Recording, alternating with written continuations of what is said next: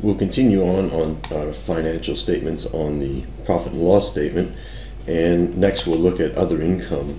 And what we'll do with that, keep it simple, we'll just look at it as a percent of total revenue. And you can see here it's about 1%. We do have some exceptional years where it could be negative, where it's other expense, maybe a charge off or something. And then other years where it can actually be quite high.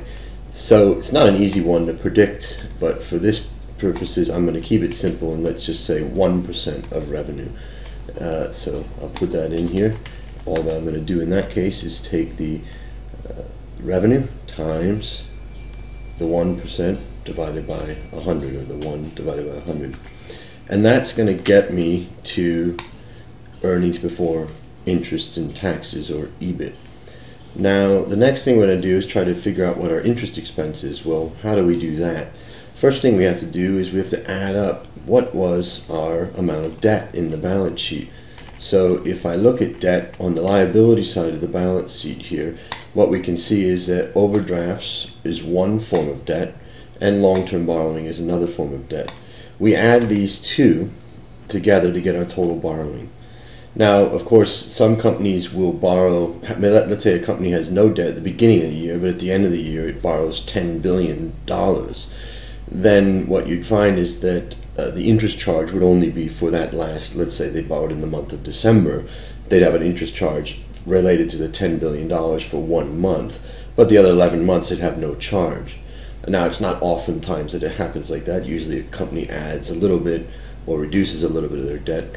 But if that was the case, you'd want to do a time weighted average where you'd say 1 divided by 12 uh, for the month of December and multiply that times the interest uh, rate and then you'd do 11 divided by 12 times 0 which would be the interest rate because there wouldn't be any during that time. So you would get a time weighted average. But to keep things simple we just do a simple average which is just in line 94 you can see my simple average just says average of the prior year and this year and that tells us our debt outstanding then I can go back up to our profit and loss statement and look at our interest expense and I can say, let's divide that interest expense, which is AC11 here, divided by the AC94, which is our average borrowing.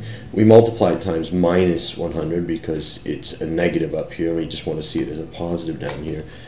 And we can see in this case, McDonald's interest costs was about 4.4%, 5.1, and then 4.5.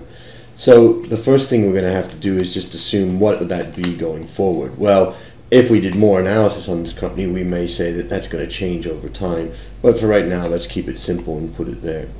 The next thing we're going to do is we're going to look at our total amount of debt in relation to long-term debt only right now.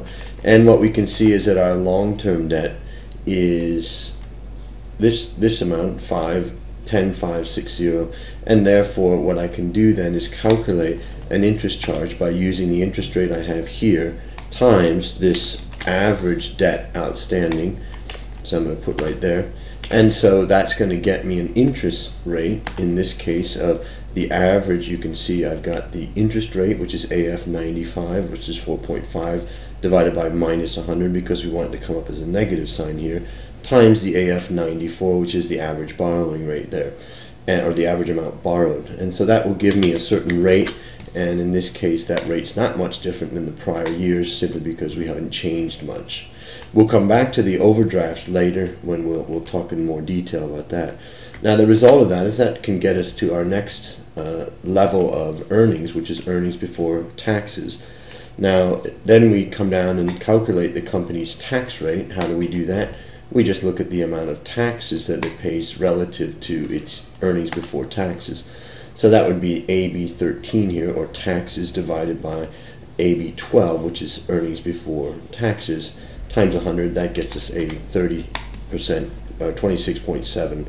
Now, in this case, I'm going to make sure that this is actually a negative item down here, so I'm going to copy that over, and then I'm going to basically I'm going to assume the same interest rate or the same tax rate here and then all I'm going to do now is multiply my AF12 which is my earnings before taxes times my tax rate which is the AF96 29.8 divided by 100 we'll use a minus there to make sure it comes up as a minus And that gives us our tax rate, which we can copy over.